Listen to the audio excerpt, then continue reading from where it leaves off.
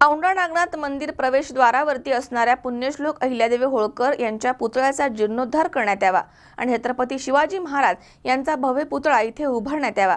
तसेच परिसरामध्ये सुशोभीकरण करण्यात यावं अशी मागणी रासप आणि मराठा शिवसैनिक सेनेच्या वतीनं करण्यात आली आहे.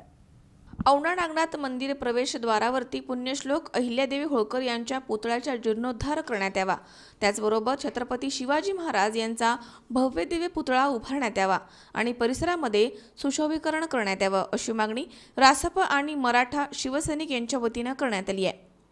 या मागण्यांचं निवेदन नागनाथ देवस्थानला विनायक भिसे पाटील यांच्या प्रमुख उपस्थितीमध्ये संस्थांच्या पदाधिकाऱ्यांना देण्यात आलं आहे या मागण्या मान्य न केल्यास राष्ट्रीय समाज पक्ष तथा मराठा शिवसैनिक सेना तीव्र आंदोलन छेडणार आहेत असं यावेळी सांगण्यात आलं.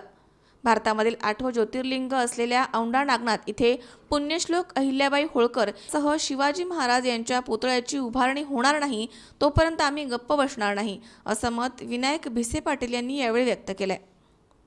औंढा नागनाथ येथील सचिव आणि अध्यक्ष संस्थांच्या अध्यक्ष आणि सचिवांना मराठा शिवसैनिक सेना आणि राष्ट्रीय समाज पक्षाच्या वतीने आम्ही निवेदन दिलेलं आहे की ज्या अहिल्याबाई होळकरांनी पुण्यश्लोक अहिल्याबाई होळकरांनी औंढा नागनाथ या मंदिराचा या संस्थांचा जीर्णोद्धार केला आणि या अहिल्याबाई होळकरांचा पुतळा एकदम आडगळीस पडलेला आहे आणि हा पुतळ्याचा जीर्णोद्धार करून या पुतळ्याचा मोठा असा अश्वरूढ पुतळा औंढा नागनाथ संस्थांच्या ज्या मुख्य कमानी आहे त्या कमानीच्या बाजूला पुतळा बसवण्यात यावा अशी आम्ही या संस्थांना निवेदनाद्वारे मागणी केलेली आहे.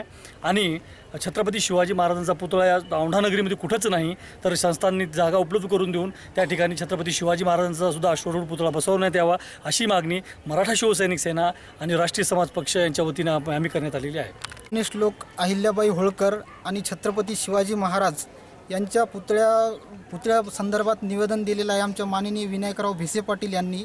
आणि आम्ही मराठा शिवसैनिक संघटनेकडून त्यांच्यासोबत आहोत. आणि ही मागणी जर नागनाथ संस्थांकडून पूर्ण नाही झाली तर खूप मोठे तीव्र आंदोलन छेडले जाईल असं आम्ही आव्हान करतो. उमेश चक्कर पाटील सी चोवीस तास हिंगोली.